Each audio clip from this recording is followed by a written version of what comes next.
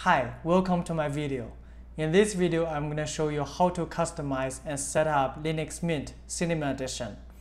I will show you how to change the icons and themes, how to install an application launcher and an application dock.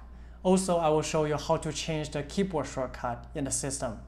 But before we start, I want to mention that the themes I picked for this video is very similar to the ones I picked for the XFCE episode. The reason I did this is because I want to show you that no matter which Linux distribution or desktop environment you choose to install, you can always customize the look and feel to suit your need. Now let's begin. In order to change the look and feel, we need to create two folders in home directory. So go to home, click on view, toggle the show hidden file, create a folder called icons, and another one called dot .themes. Open up browser. Go to cinnamon-look.org. Go to GTK3 4 themes. You can pick anything you like here. But for this video, I'm gonna go to ratings and download this one, Mac Mojave. I'm going to choose the dark theme here. Next, go to full icon themes. Similarly, I'm gonna click on rating, download the Mojave circle. I'm gonna use the blue theme here. After it's done, go to download folder and extract these two files. Now we need to find the root folder for these themes inside the extracted folders because theme folders usually contain a file called index.theme. So I'm gonna check each of these folder. So this is already the root folder for the theme. So I'm gonna copy this to the .theme folder. Let's check the other one. So in this folder, it has two subfolders. One of them is blue, the other one is dark theme. So what I need to do is go further to check if these are the root folders for these themes. Clearly they are. So what I'm gonna do is to copy these subfolders to the dot icons folder. After that, we can go to the menu, system settings, go to themes and change everything.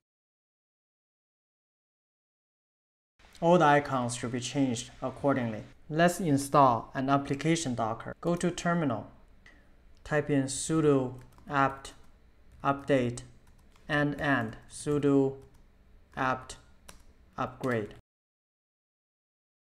If you see a lot of packages installed during this process, you need to reboot before going forward. Now let's do the installation. sudo apt install plank. Let's start plank. Right click on the panel here, click on move, click on the top red bar, and now we can see the dock. Hold Ctrl and right click anywhere on the dock. Open up preference and turn on icon zoom. Now the icon will be enlarged once we have our mouse hovered over. We can also add a trash can here by going to docklets, drag the trash can. What we need to do next is to go to menu, system settings, click on startup applications here. Add a new entry choose application, choose plank, add applications. Now the dock will start whenever we log into the system. Let's install an application launcher next. Open up browser, search for uLauncher. Go to ulauncher.io, click download. Use the Ubuntu link here to download the package. Go to the download folder, double click on it. Click on install package, type in password, click continue. After that, we'll have the launcher ready. Click on menu, start uLauncher. The message tells us that the hotkey is set to control and space. Click on the gear icon here. Enable this option, launch at login. Close the setting. Now we have the application launcher available every time we log in. And now we can use it to start any program we like. Because uLauncher is using Control and Space as its default hotkey, which will create a conflict in the key bindings. So what I usually do is to change it to Alt Space. But as you can see, if I try to change it here, Alt and space is already occupied by the system. So let's fix that first. Go to Menu, System Settings, Keyboard, Shortcuts, Window. To assign a key binding, double click here. Put in your key bindings. And to clear it, double click and use the backspace. You'll be unassigned.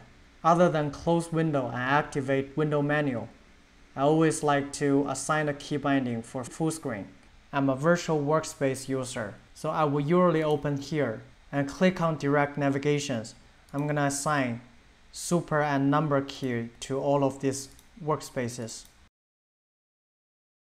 The only thing I need to mention is that this won't override the system default key binding to open up applications pinned in the panel. So what you need to do is to right click on the applications bar, go to preferences and configure and disable this option. Enable super and number shortcut to switch and open apps. And now if I click on super and number, you will go to different workspaces. That is it for today's video. I hope you guys enjoyed it. And please leave a comment if you have further questions. And if you think this video is helping you daily driving a Linux distribution, please hit the like button. And I will see you in the next one. Thank you.